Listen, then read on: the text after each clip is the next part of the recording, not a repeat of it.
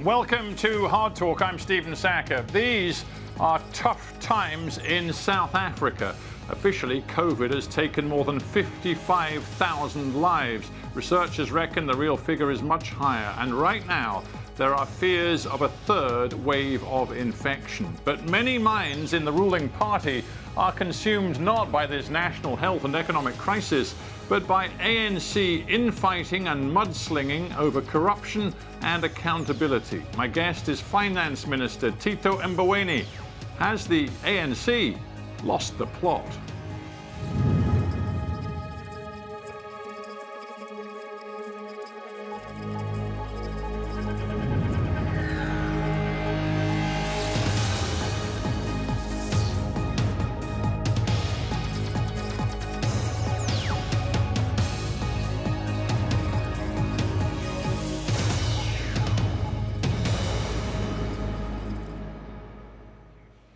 Tito Mboweni in Limpopo province. Welcome to Hard Talk.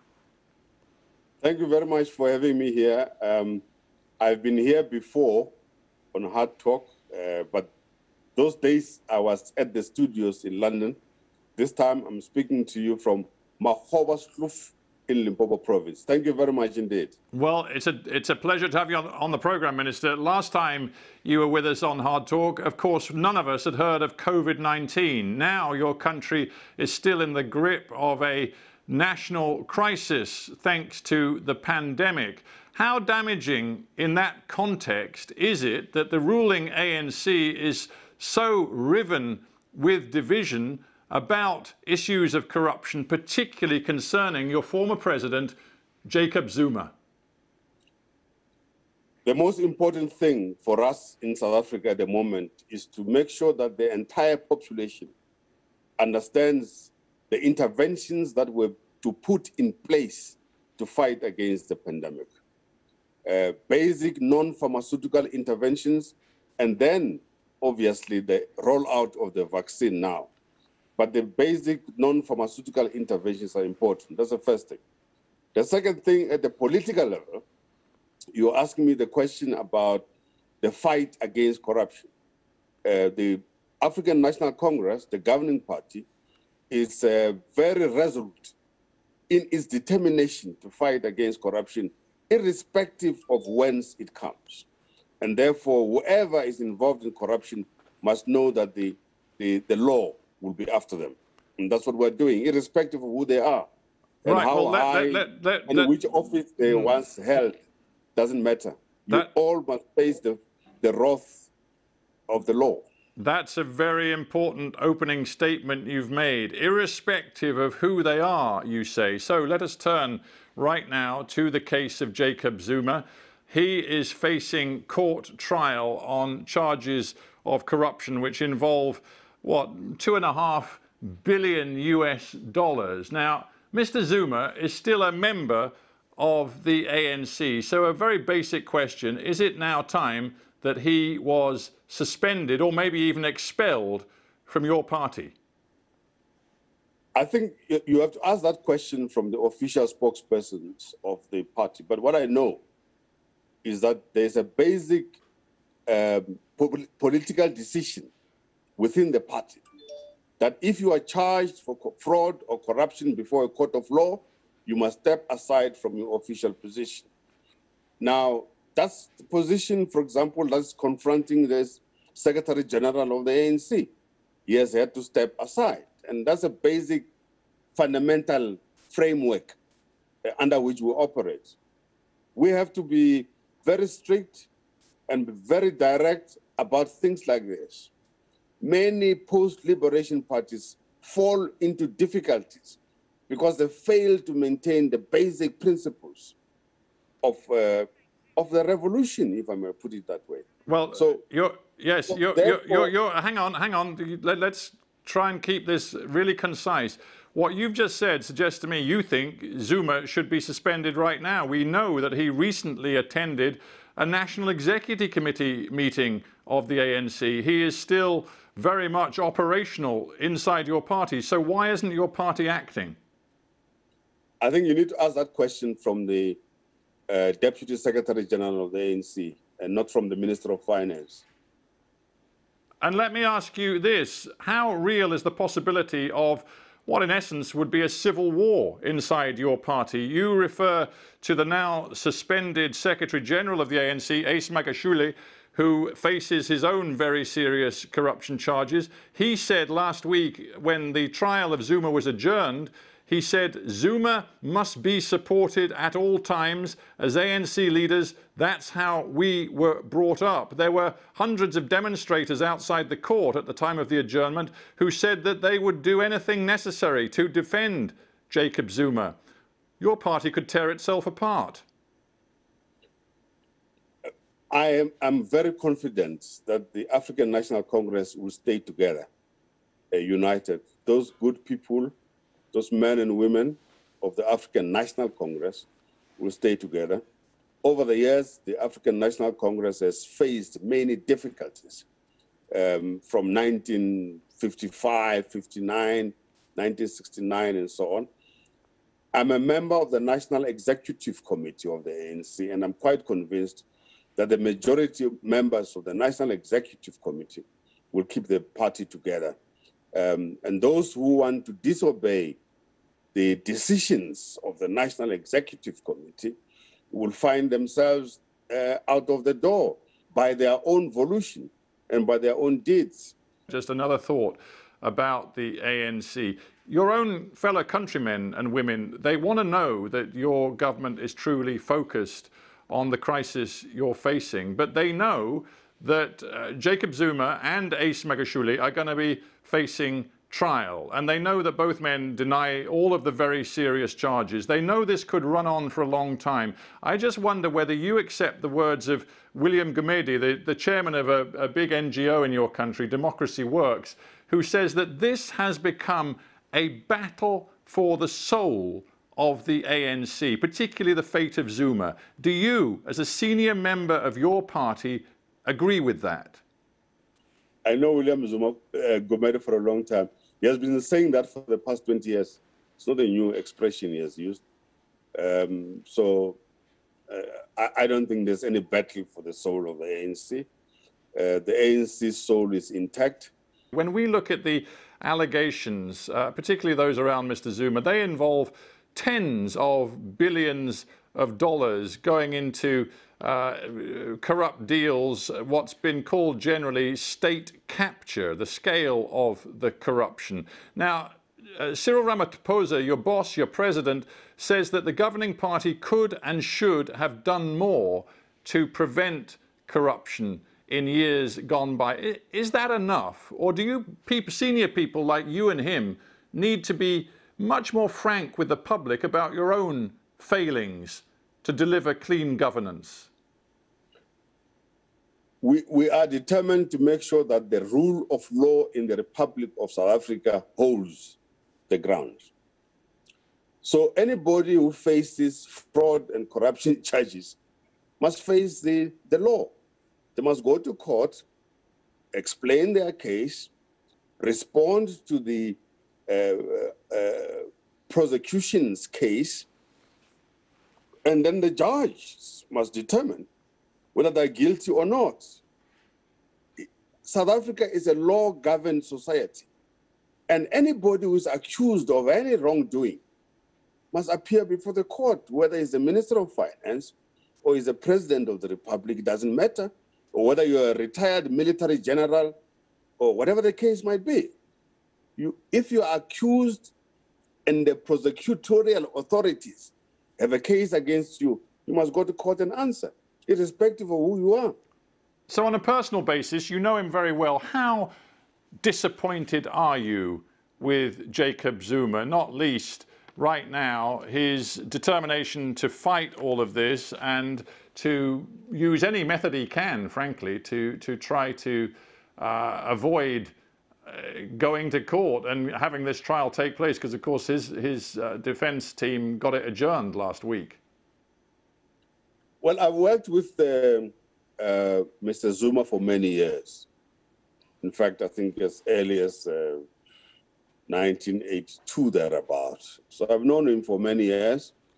And um, uh, from Lesotho, from uh, Maputo in Mozambique, from uh, London, um, from Lusaka. And I think that uh, all that he needs to do is to subject himself to the court processes and prove his innocence there. Um, and I think that uh, as somebody who has been in the struggle for so many years, I'm sure he's interested in the protection of our constitutional democracy, the rule of law, and that he will subject himself to a fair process of the law. That's very important. And so, also, if he does that, it becomes an example of how leadership conducts itself when confronted with such difficult matters. This is important for future generations uh, as well, so that the future generations know that all of us abide by the law and that none of us is above the law. You yourself have been heavily criticized by people inside the ANC and also the affiliated trade union movement COSATU because of the way you've spoken out on financial governance issues, not so much in South Africa, but there was some infamous tweets you made about the uh, relationship between the president of Zambia and the chief of his central bank. And as a result of those uh, comments you made, COSATU in particular called you a national liability. They seem to think you should be removed from office. Do you have a personal problem now with some of the key figures in your own ruling party and the trades union movement? Uh, not at all. Not at all. Uh, I have very close working relationships with uh, uh, members of the National Executive Committee of the ANC, um, the General Secretary of COSATU, and also the other leaders in COSATU, the leaders of the South African Communist Party. We have differences from time to time. And I think one thing that's very unique about me, if I might just say something about myself, I call a spade a spade and not a big spoon. And if you call a spade a spade, you are going to get into trouble from time to time. But I like and, and enjoy getting trouble. It's, it's well, it, nice. all right. In the in because, the uh, in the spirit, yeah, Minister. Society, yeah. In the spirit of calling a spade a spade, I hope perhaps you'll be very frank with me about why your government has failed to really effectively find ways of controlling COVID-19 because three of your key provinces are now facing a very dangerous third wave. It looks like a fourth province is about to declare that it's in the third wave of COVID 19, and your death toll is far higher than any other country in Africa. Why have you failed? One of the things about South Africa is that we don't hide our statistics. Uh, we say things the way they are. I'm sure if you dug deeper into uh, the statistics of many other countries, you're going to find so many hidden facts. We don't hide facts. When we look at the way the pandemic has affected the whole world, all of us should be talking about how we join hands together to fight the pandemic. And in South Africa, we have now begun the process to roll out the, the vaccine. In fact, uh, I'm going to be vaccinated um, uh, very soon. Um, uh, I've been told that because I'm over 60, um, the time has come for the over 60 people to be vaccinated. I, am I'm, I'm, I'm genuinely delighted to hear that you're about to get vaccinated, but the trouble is you will then be part of the roughly 1% of your population that has received a dose of vaccine. Your vaccination rollout eh, has not been as fast as, say, Senegal, Ghana, Kenya, Zimbabwe, Botswana. You are the richest nation in the continent of Africa. I come back to the basic question why are you failing?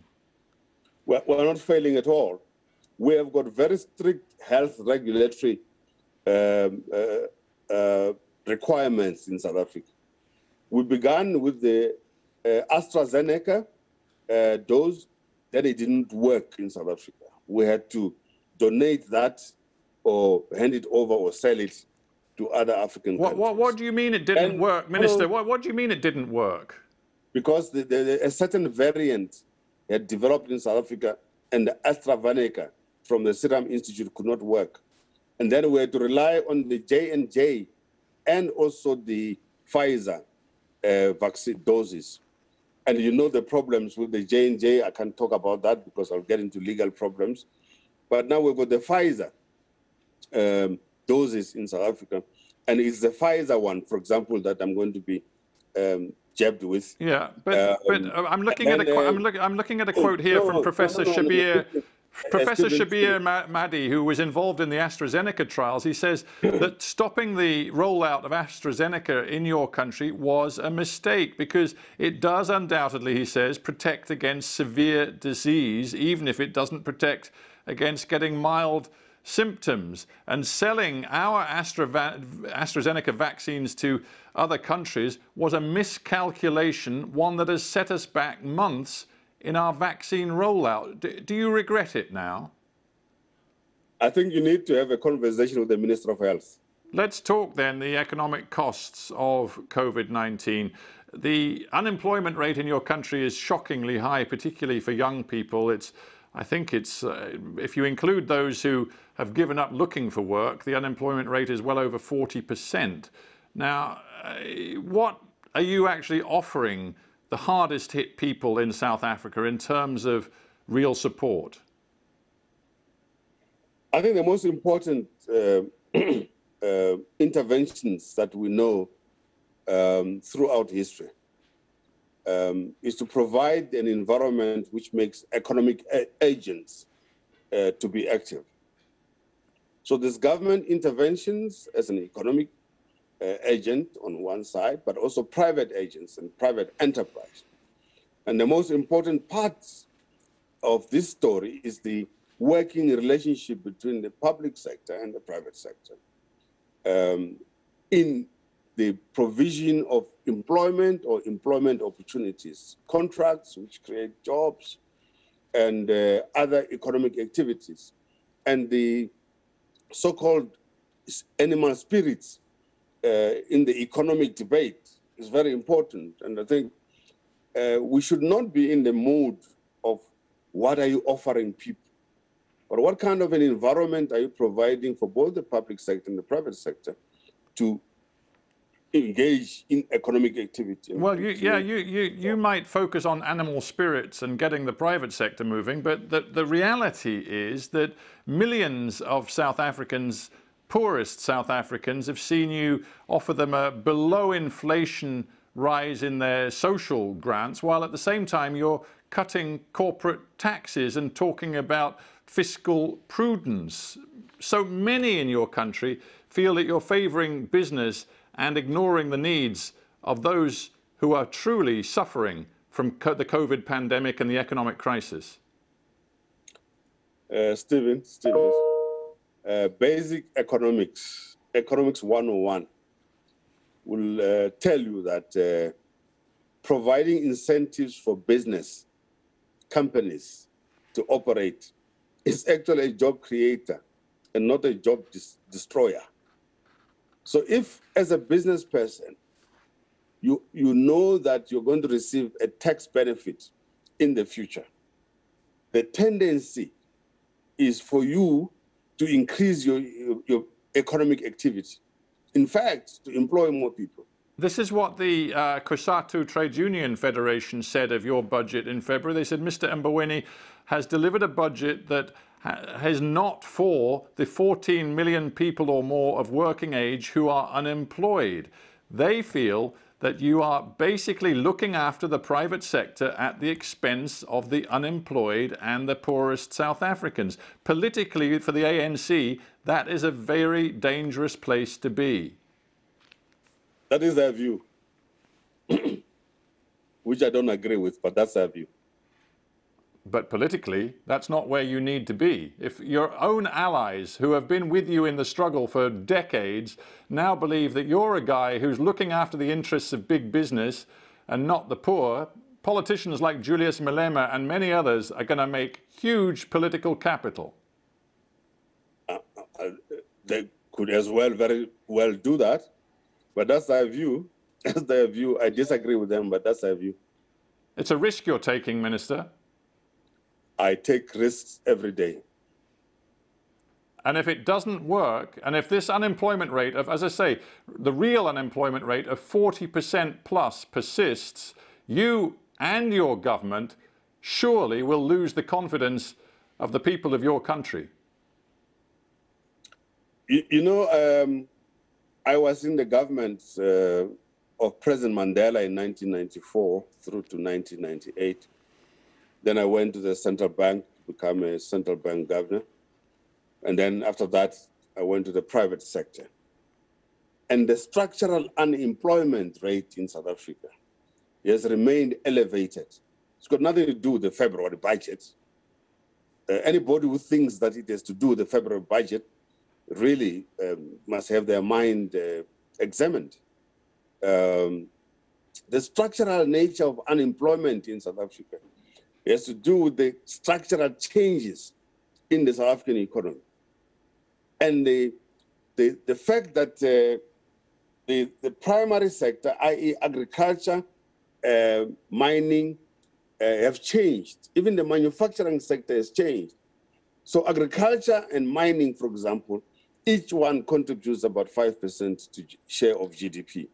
And manufacturing, both light manufacturing and heavy manufacturing, are about 18% of GDP. The rest of it is the tertiary sector, whether it's wholesale trade, retail trade, banking and finance, insurance, domestic services, government services, health services. That's where the thing right. is. But but and the... therefore, no, no, no, no, no.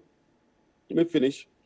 And therefore, the skills set required for this structurally changed economy um, is what we need to work on so that we feed into the pipeline the skills which are now required in light manufacturing and also in the tertiary sector of the economy. Right, but you've, you've, had oh. you've had years of low growth, you've had years of stagnation, infrastructure problems, and in recent times recession. Claude Baissac, who runs the runs the Eunomix consultancy group in Johannesburg, he says, barring a meaningful change of trajectory in South Africa, it will become a failed state by 2030.